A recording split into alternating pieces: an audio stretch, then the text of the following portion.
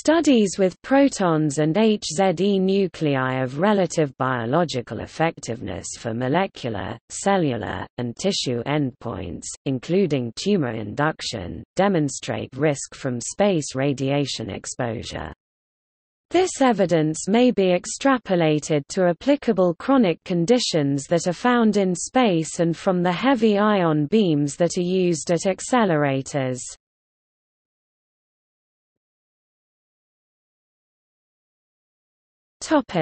Cancer induction by space radiation A necessary step for improving space radiation cancer risk assessment is to perform studies on the molecular pathways that can cause cancer initiation and progression, and to extend these studies to learn how such pathways can be disrupted by HZE ions, including both genetic and epigenetic modifications that are noted as the hallmarks of cancer figure 4 to 8. The goal of this research is to establish a more mechanistic approach to estimating risk and to answer questions, including whether HZE effects can be scaled from those of gamma rays, whether risk is linear with low dose rate, and how individual radiation sensitivity impacts the risks for astronauts, a population that is selected for many factors related to excellence in health.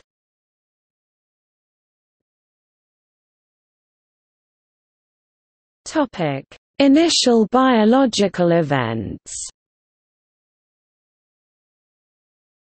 Energy deposition by HZE ions is highly heterogeneous with a localized contribution along the trajectory of each particle and lateral diffusion of energetic electrons delta rays that are many micrometers from the ion's path. These particles are, therefore, characterized by a high LET, however, they contain a low LET component Fe to high-energy electrons that are ejected by ions as they traverse tissue.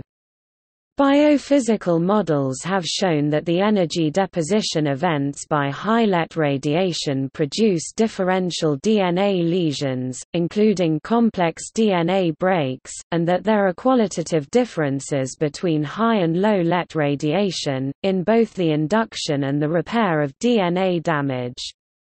The number of DNA single-strand breaks (SSBs) and double-strand breaks (DSBs) that are produced by radiation varies little with radiation type. However, for high-LET radiation, a higher fraction of DNA damages are complex, i.e., clusters containing mixtures of two or more of the various types of damages (SSB, DSB, etc.) within a localized region of DNA Complex damage is uncommon for endogenous damage or low-LET radiation, and has been associated with the increased RBE of densely ionizing radiation.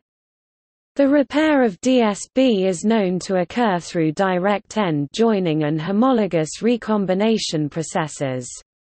Indications are that, for high-LET radiation, where complex DSBs occur with high frequency, little repair occurs, leading to cell death or the mis rejoining of unrepairable ends with other radiation-induced DSB leads to large DNA deletions and chromosome aberrations, while the high effectiveness in cell killing provides the rationale for heavy ion cancer therapy, hadron therapy. Residual damage in surviving cells is of concern for carcinogenesis.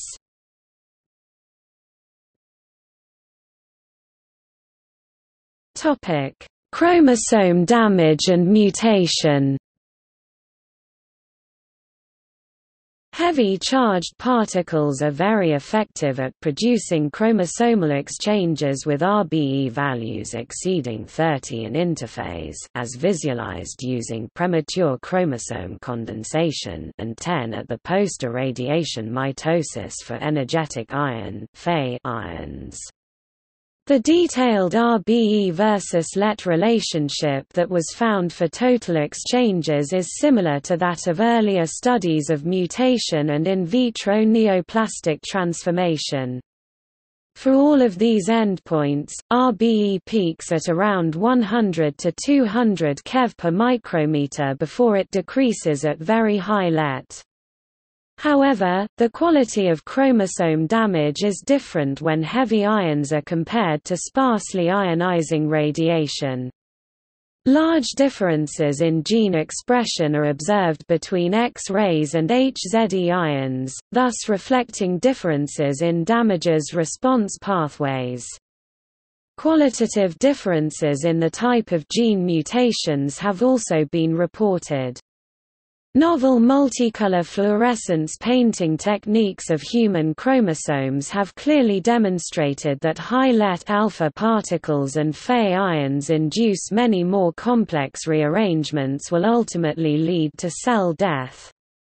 In fact, only a small fraction of the initial damage is transduction of late chromosomal damage has also been measured in the progeny of human lymphocytes that were exposed with much higher frequency in the progeny of cells that were exposed to heavy ions compared to gamma rays.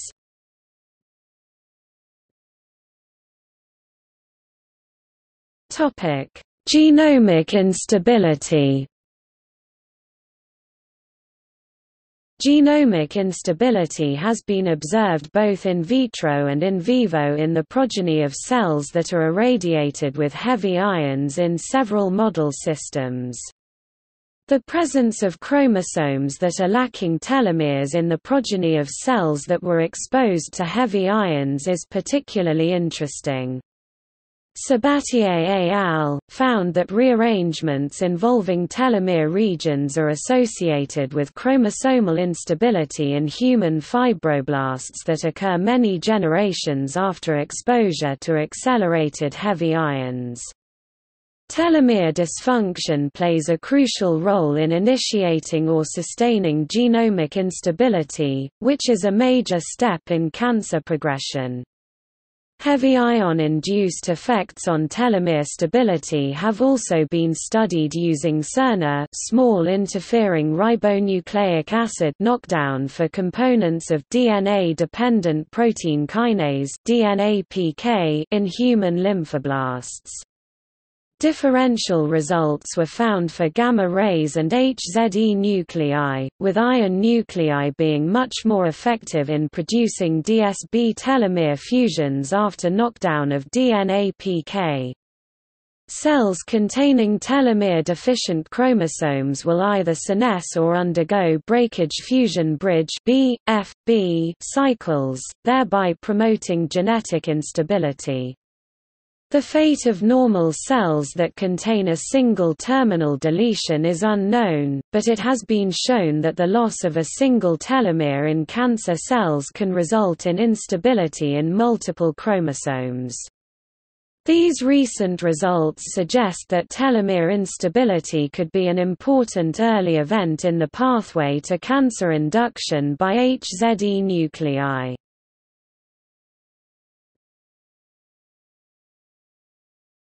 Topic: Cancer and tissue effects.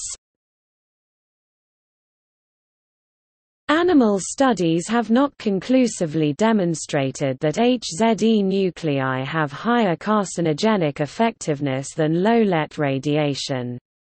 Studies of animal carcinogenesis with HZE nuclei are extremely limited in number and the use of tumor-prone animals introduces bias into the results.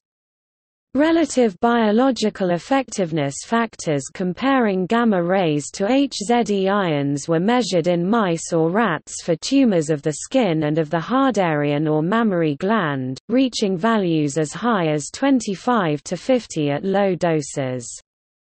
However, the risk and detriment of cancer will not be fully characterized until the relationship between radiation quality and latency, where tumors appear earlier after high-LET radiation, is adequately described. The earlier latency and increasing effectiveness that is found with HZE ions that are similar to those in earlier studies with neutrons, together with the lack of response of gamma rays that is seen in many low-dose studies, suggests that the scaling concepts that are used in current risk assessment approaches are unable to describe important qualitative effects, and that relative biological effectiveness factors may, in principle, be indefinable or a faulty concept.